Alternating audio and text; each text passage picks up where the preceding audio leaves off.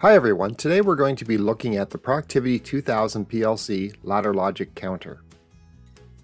Now, a majority of programmable logic controllers or PLC programs will include a counter instruction. The Productivity 2000 series PLC has a couple of different counter instructions for your program. These can be used to adapt to your application. Counters are used to count up and down to a specific value. When the limit is reached, an output is turned on.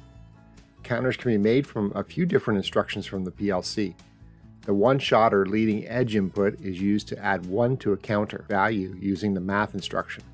A comparison is used to compare the value to a set value, or SV. If it is greater than or equal to, the output is turned on. Another input is used for the reset of the counter value. Copy is used to move the reset value into the counter value. This reset will usually override the counting application.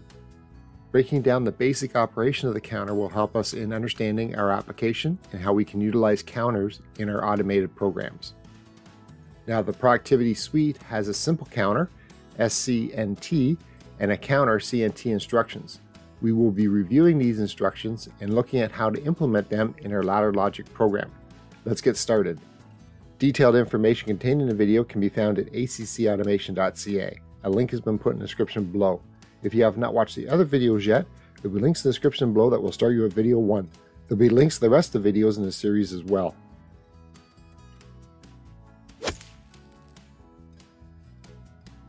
When dealing with counters, we need to look at the timing charts. This will help in understanding how your application will need to function.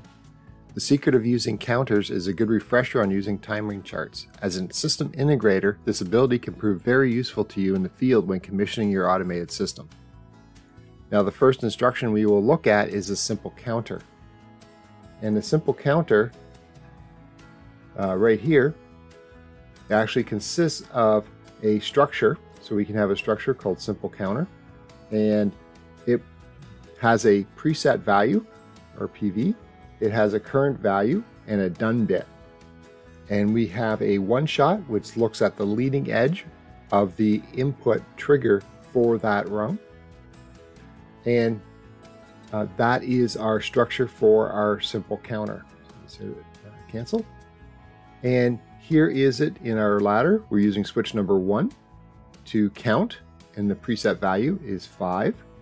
Then switch number two will do the reset of that simple counter. And the simple counter done bit then turns output one on. So if we look at our actual hardware and we can uh, trigger that input, we will see it starting to count.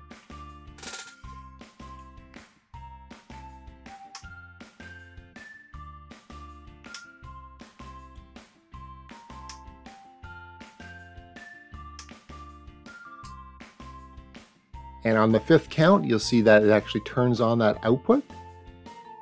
So if we continue to count, it will continue to increment that current value. Now if we turn on switch number two, switch number two is our reset, you can see that our output immediately goes off because our current value now refets or resets back to zero. We can then count or use the input again and you can see as I turn it on I'm still not getting anything because my reset is on so the reset overrides the set value.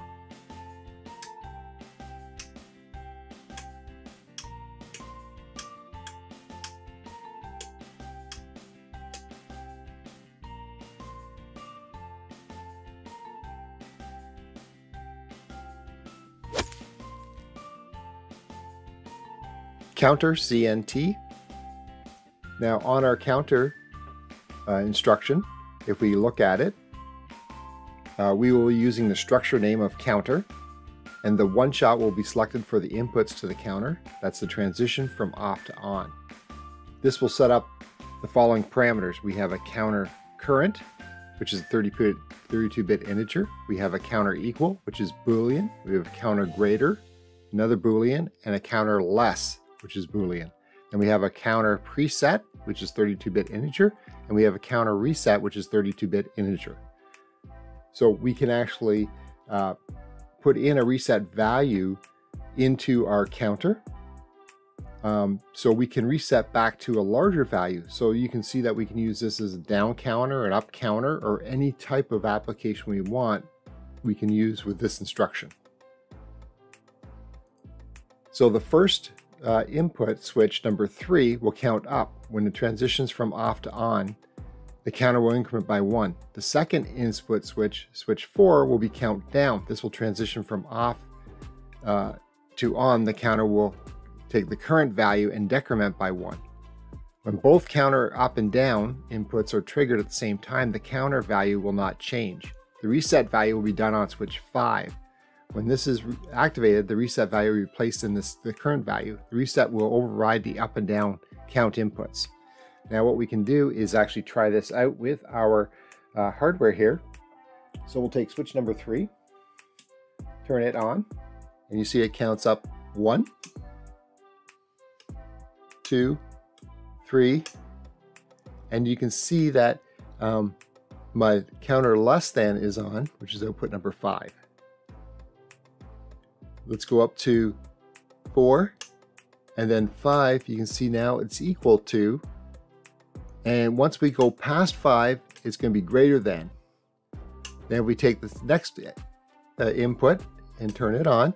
It now counts down, so it's back equal again Then lower one. So now it's four, so now it's less than. And then we can turn on the reset, switch number five. And when it resets, it doesn't matter um, if I have three or four on, it's not counting. So that is our counter in our Productivity 2000 PLC. Now, if you enjoyed this video, please hit the like button below. If you have any questions about the video, please leave a comment below and I'll do my best to answer it. If you want more information about us or you want our free ebooks on numbering systems or robust data logging, please click on the link in the description below to get it.